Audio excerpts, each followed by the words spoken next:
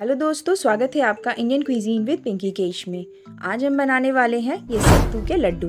इन्हें बनाने में मेहनत बिल्कुल भी नहीं लगने वाली, क्योंकि बिना गैस जलाए मिनटों में हम घर के रखे कुछ ही सामानों से इन्हें बनाकर तैयार कर सकते हैं। और आप देख सकते हैं कि ये कितने सॉफ्ट बने हैं। ये खाने में टेस्टी तो है ही, साथ ही साथ बहुत ही हेल्दी है, क्योंकि ये सत्तू से बने हैं। तो रेसिपी अगर पसंद आए तो इसे प्लीज़ प्लीज़ लाइक करें और मेरे चैनल को सब्सक्राइब करना ना भूलें। तो सत्तू के लड्डू बनाने के लिए यहाँ मैंने वन फोर्थ कप घी लिया है। घी को मैंने कुछ देर के लिए फ्रिज में रख दिया था।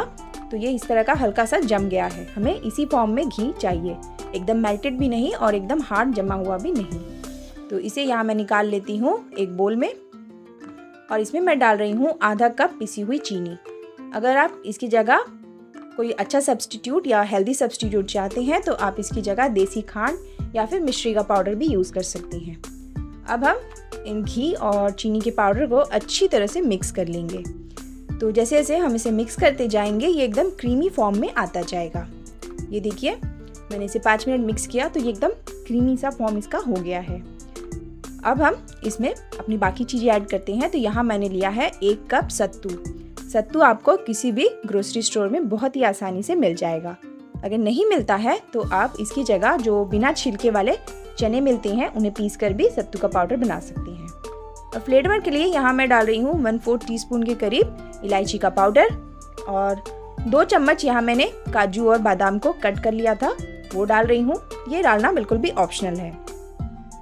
अब इन सभी चीज़ों को हम अच्छी तरह से मिक्स करके बाँध लेते हैं इस तरह से। तो इसमें घी है, वो आस्ते आस्ते सत्तू को एकदम अच्छी तरह से बांधने लगेगा। ये देखिए। लेकिन अभी मुझे लग रहा है कि इसमें घी थोड़ा सा कम है, क्योंकि ये बंध नहीं रहा है। तो इसमें मैं एक टीस्पून के करीब और घी डाल देती हूँ। आपको शायद ना भी लगे। तो इसे अभी हम हम अच्छी तरह से मिक्स कर लेते हैं। और यहाँ मिक्स करने के बाद आप देख सकते हैं कि ये अब एकदम अच्छी तरह से बंध रहा है। यानी लड्डू का फॉर्म हम अच्छी तरह से इसे बाँध सकते हैं। तो अब पहले हाथों को अच्छी तरह से साफ़ कर देते हैं ताकि लड्डुओं का टेक्सचर एकदम अच्छा सा आए। और जितना बड़ा हमें लड्डू बनाना है, हम उतना बड़ा पोर्शन लेते हैं इसमें से। और हाथों में अच्छी तरह से पहले हम दबा के इसे राउंड कर लेंगे इस तरह से। फिर हथौलियों को बीच में रख के हम इसे इस तरह से गोल लड्डू का शेप दे देते हैं। बहुत ही आसानी से देखिए, ये बन करके तैयार हो गया और बिना झंझट के और बस मुझे पाँच से दस मिनटों में ही ये तैयार हो गया है। ये देखिए कितना प्यारा हमारा लड्डू लग रहा है। और इसे थोड़ा सा और डेकोरेट करते हैं। तो यहाँ मैंने पिस्ता लिया है काट कर इसे इसके ऊपर लगा देते हैं।